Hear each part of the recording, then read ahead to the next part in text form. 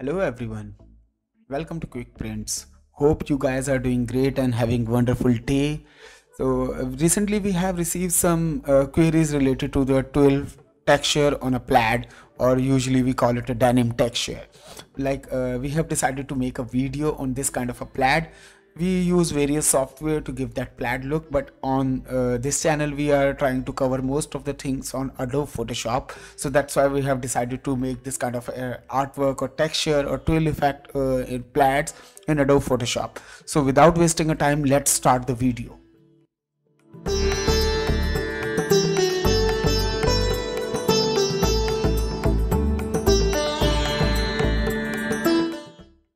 Welcome back.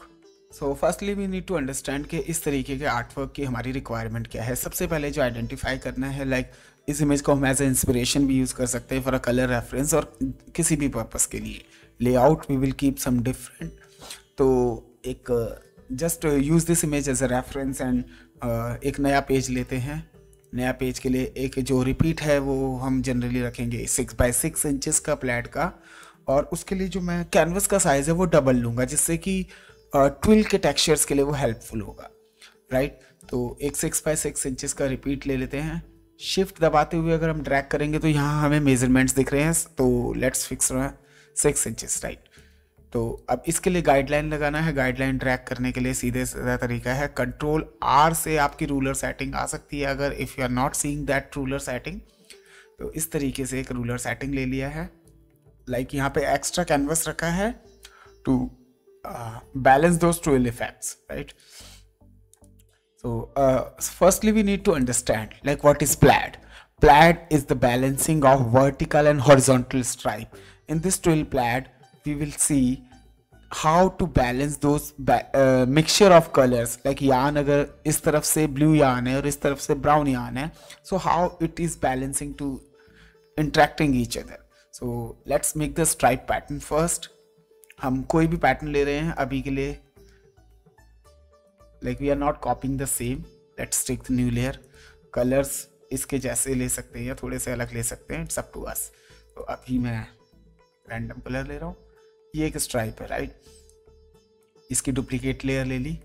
अब यहाँ stripe में जो भी वेरिएशन करने हैं, हम फ्री हैं वेरिएशन करने के लिए। लाइक जिस भी तरीके से हमें उसका साइज़ छोटा करना है या पतला करना है कंट्रोल टी ट्रांसफॉर्म के साथ शिफ्ट के साथ आप इसको स्क्वीज करेंगे तो ये छोटे होते जाएँगे। इस तरीके से लाइक सबकी अलग अलग लेयर्स है अभी right let's have a look on the inspiration like ये हो गए ब्राउन के स्ट्राइप्स तो इनको जस्ट शिफ्ट कर लेते हैं सेंटर पे फिक्स कर रहे हैं हम लोग रिपीट की बात करें तो रिपीट के लिए सबसे पहले सेंटर लाइन करना बहुत ज़रूरी है। एक बार सेंटर लाइन कर देते हैं कंट्रोल टी और ये हो गया सेंटर राइट अब इन सारे लेयर्स को हमें यहाँ रखना है. इसके सेंटर पे फिक्स करते हैं एक बार. इस तरीके से. अब इन लेयर्स की डुप्लीकेट कॉपी एक हम ऊपर की तरफ़ लेकर. लाइक राइट क्लिक करके सेलेक्ट करके आप डुप्लीकेट लेयर्स कर सकते हैं. डुप्लीकेट लेयर्स हो गई कंट्रोल टी और आप फ्लिप कर देंगे. ये इसका डुप्लीकेट लेयर हुआ है और इसके साथ इसको फिक्स कर दिया तो इन सब की जो गैपिंग है वो इक्वल है। राइट अब दूसरा स्ट्राइप जो कि हम यहाँ पे एक ब्लू कलर का देने वाले हैं। लेट्स गो एंड ये वाला ब्लू तो let's match the colour right ये हो गया ब्लू कलर न्यू लेयर ले लेते हैं। सिलेक्शन के ऊपर कलर फिल नहीं हो रहा। है ये। इसी का एक डुप्लीकेट नीचे। गैप अपने अकॉर्डिंग आप सेट कर लीजिए। राइट ये हुआ फाइनल लेआउट अब बात आती है ट्वेल इफ़ेक्ट की। ट्वेल इफ़ेक्ट बहुत इजी नहीं है। एक और बात फिर क्लोजली देख लें। ट्वेल इफ़ेक्ट है क्या? बेसिकली ये एक डायगनल स्ट्राइप्स का सीमलेस पैटर्न है। राइट और कुछ भी नहीं है। सो so, यहाँ पे एक छोटा सा पतला स्ट्राइप सिर्फ़ ट्वेल्व के लिए हम बनाएँगे। uh, किसी भी लेयर पे बना सकते हैं अभी फिर हम उसे डिलीट कर देंगे। इस तरीके से। एक छोटा सा पतला स्ट्राइप ब्लैक कलर से बना लेते हैं राइट इसको इतना ही पार्ट वाइट लिया and convert to define pattern अब ये एक बेसिक स्ट्राइप का पैटर्न बन गया अंडू कर देते हैं, अब इसकी ज़रूरत नहीं है। पैटर्न बन चुका है राइट अब ट्वेल्व टेक्सचर डालना है। ब्लू स्ट्राइप सेलेक्ट की ट्वेल्व टेक्सचर पैटर्न पैटर्न जो हमने स्ट्राइप का अभी रिसेंटली बनाया है, उसको यूज़ करते हैं राइट अब इसके जो एंगल है एंगल चेंज करना है 45 डिग्री 45 डिग्री होने के बाद ये इस तरीके से आया है। अब ये पिक्सलेटेड हो रहा है। लाइक पिक्सलेटेड अगर आपको ठीक लगता है तो कोई इशू नहीं है अदरवाइज़ आप इसको, इसके साथ मर्ज करके थ्रश करेंगे, ये सारा पिक्सलेशन ठीक हो जाएगा। मैंने मर्ज इसलिए किया था रेस्टराइज ना करना पड़े, आप रेस्टराइज भी कर सकते हैं। थ्रश करने के बाद ये कलर इस तरीके से हो गया। मैजिक वॉन्ड में टोलरेंस ज़ीरो रखेंगे। आपका कोई भी सेटिंग हो, अगर आपको नॉन पिक्सलेशन चाहिए, आप ज़ीरो रखिए। Anti alias off because one pixel is covering in anti alias contiguous off कर देते, जितना भी वाइट सेलेक्टेड है, वो डिलीट हो जाएगा। Right right? इस तरीके से। ये हुआ हमारा ट्विल का टेक्सचर अब इसको यहाँ से सेलेक्ट पिक्सल्स करना है। सेलेक्ट पिक्सल्स करने के बाद आप इस लेयर को बंद कर दीजिए और ब्लू की लेयर पे आके डिलीट प्रेस कर दीजिए। इस तरीके से डला आपका ट्वेल्व का इफ़ेक्ट इस वाली लेयर पे। राइट अब हम बाकी वाले लेयर्स के लिए करेंगे। इन लेयर्स के लिए या तो आप अलग अलग करके जिस तरीके से ब्लू में डाला है उस तरीके से डाल सकते हैं या फिर एक और इजी तरीका है। आप यहाँ पे एक बड़ा रेक्टेंगल लीजिए और अपनी सारी लेयर्स को एक साथ कर लीजिए। ये दो हो गई ब्लू की और ये सारे ब्राउन की। अब इसके ऊपर एक नए पैटर्न को लीजिए। Again same technique, twelve, forty five degree का angle. Right, again same process. एक नई लेयर ले लीजिए या रेस्टराइज कर लीजिए, जो भी इजी लगता है। उसको करने के बाद थ्रश होल्ड थ्रश होल्ड करने के बाद आप इसका वाइट या ब्लैक कोई भी पार्ट हटा सकते हैं। हटा दिया। देन यहाँ से इसकी सेलेक्ट पिक्सल्स अब यहाँ आप हर लेयर पे जाके एक्टिव करते जाएँगे और डिलीट दबाते जाएँगे। हर लेयर डिलीट हो रही है। देखिए, मैं दिखाता हूँ आपको जूम आउट करके। ये यहाँ की लेयर डिलीट हो गई। राइट अब मैं इस लेयर पे करूँगा तो ये भी होगी इस तरीके से। हर लेयर जिस लेयर पे जाके आप डिलीट प्रेस करेंगे, वो लेयर पे ट्वेल्व का इफ़ेक्ट आ जाएगा। लाइक इस तरीके से आया है ये ट्वेल्व का इफ़ेक्ट अभी सिर्फ़ ये स्ट्राइप है प्लेड नहीं है। राइट अब हम इन सबको ग्रुप कर लेंगे। शिफ्ट दबा के आप सारी लेयर को सिलेक्ट कर लीजिए। कंट्रोल जी ग्रुप करने के लिए। Control J for duplicate the group and rotate 90 degree अब अब यहाँ पे जो है, देखना है जो रोटेशन है रोटेशन ऑफ़ ट्वेल्व वेव वो सेम होना चाहिए। देन उसके लिए आप इसको रोटेट कीजिए फ्लिप हॉरिजेंटली इस तरीके से आपका ये रोटेशन बैठ गया। अब जो बात आएगी, वो आती है अलाइनमेंट की। अब ग्रुप को आपको ओपन करना है। और एक एक लेयर को सेलेक्ट करना है। ये लेयर सेलेक्ट किया देन आप इसके ट्विल्स को बैलेंस करेंगे इस तरीके से। राइट ये यहाँ पे मर्ज हो गया, यहाँ भी हो गया। जहाँ जहाँ नहीं हुआ है, वहाँ हमें दोबारा करना पड़ सकता है बट ये अभी काफ़ी जगह पे हो गया। अब बात आ रही है इस वाले लेयर की, ये भी ठीक है। अब इन लेयर्स को यहाँ पे आप सेलेक्ट करेंगे।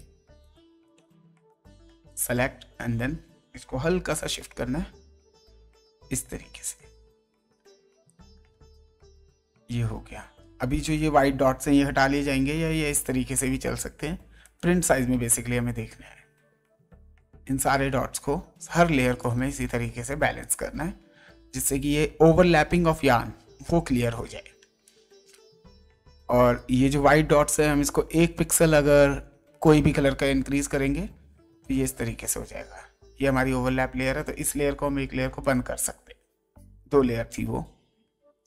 अब इसको हमें ठीक करना होगा। तो let's fix control arrow control arrow up side arrow को मैं प्रेस कर रहा हूँ और हर लेयर को बैलेंस कर रहा हूँ। कंट्रोल एरो जितने पिक्सल्स आपको मूव करना है, आप अपने ट्विल इफ़ेक्ट के अकॉर्डिंग देख सकते हैं। इस तरीके से ये सारे पार्ट्स बैलेंस हो गए। अब पॉइंट आती है, ये जो वाइट एरियाज़ हैं या तो आप इसको ऐसे भी छोड़ सकते हैं अगर आपको ठीक लग रहा है वरना इसके एक पिक्सल एक्सपेंड करने का कोई प्रॉब्लम है नहीं। So let me tell you how to do that one pixel uh, जितने भी लेयर्स हैं आप सबको सेलेक्ट कर लीजिए राइट क्लिक कॉपी शिफ्ट दबा के। Control shift and right click control shift and right click right control shift and right click ये डी सेलेक्ट भी हो जाता है दोबारा होने से then just take remember have a look जितनी लेयर सेलेक्ट होनी चाहिए उतनी लेयर सेलेक्ट हो जाएगी। कर्सर वहीं पे ले जाना है जिस लेयर को सेलेक्ट करना है। Control shift and right click ये सारी लेयर सेलेक्ट है। आप कंट्रोल ई e, हर लेयर को मर्ज करके बिकॉज़ अभी वन पिक्सल एक्सपेंड करना है। यहाँ पे जाके आपने सेलेक्ट पिक्सल करना है and select modify expand just one pixel one pixel से ज़्यादा की ज़रूरत नहीं है। बट ये सारे एजेस फिल हो जाएँगे तो वन पिक्सल में भी कोई फ़ायदा नहीं है। हम इसको अभी ऐसा छोड़ देंगे। नेक्स्ट टाइम के लिए आप याद रखेंगे, आपको ट्वेल्व का टेक्सचर बनाने से पहले एक रैंडम सैंपल चेक करना है। और ये इस तरीके से, अब इसका एक ग्राउंड कलर मैं दे देता हूँ। लाइक यहाँ से इसके ग्राउंड कलर्स उठा लेते हैं। बाकी कलर्स अगर ठीक करने की ज़रूरत है तो ग्राउंड के लिए मैंने सेलेक्ट करके एक ये ग्राउंड फिल किया इस तरीके से। अब एडिशनल चीज़ें बहुत सारी हो सकती हैं, कोई लिमिटेशन नहीं है। अगर आपको इसके साथ, एक बार प्रिंट साइज़ में देख लेते हैं, हमारे बॉक्सेस कैसे लग रहे हैं। ये प्रिंट साइज़ है थर्टी थ्री परसेंट हम 300 रेजोल्यूशन पे काम कर रहे हैं 33 परसेंट प्रिंट साइज़ होगा because we are working on more than 100 percent three time of 100 percent if the 100 resolution print having print size in 100% so that the 300 resolution print size is on 33.33% just remember और आपका print artwork print size में अच्छा लगना चाहिए। ये minute details है because यान died है तो वी कैन अवॉइड इट इस तरीके से। अब इसमें एडिशनल चीज़ें हैं। एडिशनल चीज़ें हम बहुत सारी ऐड कर सकते हैं। एक बार ग्रेड लाइन फिर से ऑन कर लेते हैं। कंट्रोल एच राइट या इज़ द ग्रेड लाइन अब एडिशनल चीज़ों की हम बात कर रहे थे, एक न्यू लेयर्स ले लेते हैं। लाइक स्ट्रिच ब्रश हमारे पास पहले से है, हमने बहुत वीडियोस में यूज़ किया है। स्ट्रिच ब्रश के लिए कोई इशू नहीं है। हम एक न्यू लेयर पे स्टिच ब्रश से कोई भी टेक्सचर दे सकते हैं। बेसिक ब्रश ले लेते हैं हमारे स्टिच के जो कॉमन ब्रश हैं ब्रश मोड पे। ब्रश मोड पे हम ले रहे हैं। तो let's go with stitch brush yes ये स्टिच ब्रश है। कोई भी हम ले सकते हैं जिस तरीके से हमें व्यू दिखाना है। अब यहाँ पे just go in a brush setting brush के एंगल को ज़ीरो राइट राउंडनेस थोड़ी सी कम करेंगे और स्पेसिंग एंड साइज़ साइज़ बहुत छोटा रखना है देन उसके अकॉर्डिंग स्पेसिंग एक बार एडजस्ट कर लेते हैं. Five six pixel right so let's have a look और यहाँ पे मैं लेना चाहूँगा एक वाइब्रेंट कलर जो कि थोड़ा सा एक fresh look they this kind of a vibrant अच्छा अब आप समझिए मैं शिफ्ट के साथ अगर प्रेस करता हूँ तो ये एकदम सीधा जाएगा राइट शिफ्ट के साथ अगर प्रेस नहीं किया तो ये इस तरीके से किसी भी डायरेक्शन में जाएगा। सो so, जो भी अब मैं करने वाला हूँ वो शिफ्ट के साथ है। एक स्टिच का इफ़ेक्ट यहाँ पे then control alt shift arrow दूसरा कॉपी हुआ। Then control alt shift arrow के बाद कंट्रोल शिफ्ट से आप इसे नीचे ड्रैग करते जाएँगे। सेम गैप पे आ गया कंट्रोल ऑल्ट शिफ्ट ये एक्यूरेट सेम है। ये टेक्निक आप आ, अच्छे से प्रैक्टिस कीजिए दो तीन बार। बिल्कुल भी फेल नहीं होती है बहुत इजी है अगर आप सेम रहे। कंट्रोल ऑल्ट शिफ्ट एरो से एक कॉपी होता है and then control alt shift से वो मूव होता है। कंट्रोल अभी के वक्त में शिफ्ट कंट्रोल है और ये मूव हो रहा है। सेम उसी डिस्टेंस पे ऊपर की तरफ़ भी नीचे की तरफ़ भी। लाइक like एक click second click first click second click तो इसमें आपको ध्यान रखना है कि आपको किस तरीके से काम करना है। कंट्रोल शिफ्ट के साथ आप इसे लेके जाएँगे। कंट्रोल ऑल्ट शिफ्ट से कॉपी करेंगे राइट कंट्रोल ऑल्ट शिफ्ट से कॉपी कंट्रोल शिफ्ट से प्लेसमेंट कंट्रोल शिफ्ट से प्लेसमेंट राइट इस तरीके से ये बहुत आसानी से बन रहा है। आपको थोड़ी सी इसमें प्रैक्टिस की ज़रूरत है। पर एक बार जब आपकी प्रैक्टिस सेट हो गई इसके ऊपर तो बहुत ज़्यादा टाइम नहीं लगने वाला है।